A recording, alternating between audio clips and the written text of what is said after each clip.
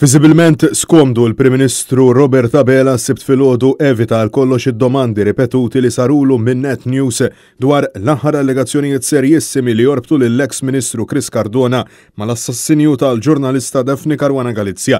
Net News staqsa min qed jgħid il-verità wara li l-koħħu żvela l-isem tal-eks Ministru eks Deputat Mexxej Laburista Chris Cardona u implikah f'dawn l-avvenimenti li seħħu kemm ilu l-Partit Laburista fil-Gvern.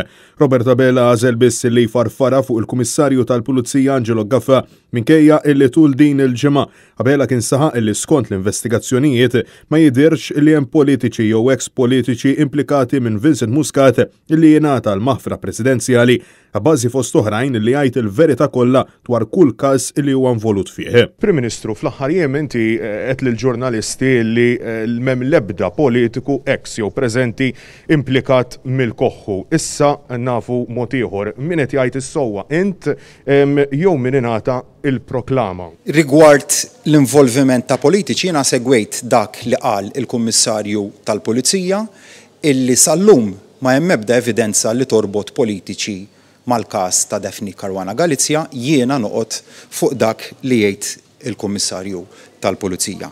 Tul din il-ġimgħa stess, il-Kummissarju tal-Pulizija għamilha ċara li hemm differenza bejn evidenza u intelligence, informazzjoni illi tasal għand il-Pulizija, f'dan il-każ mingħand persuna li ngħata proklama.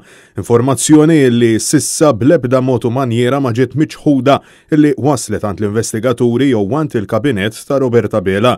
Mistoqsi dwar dan, Robert Abela ħarab milli jwieġeb, bil-ġurnalist ta' Net News imwaqqaf mill-uffiċjali tal-OPM. Prim Ministru, imma il-Kummissarju qal ukoll id-differenza bejn l-intelligence u l-evidenza.